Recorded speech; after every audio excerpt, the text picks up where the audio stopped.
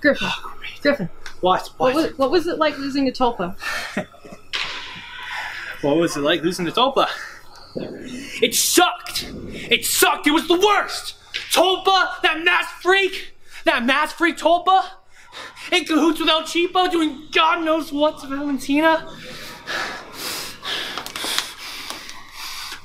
I was on a winning streak before losing to Tulpa.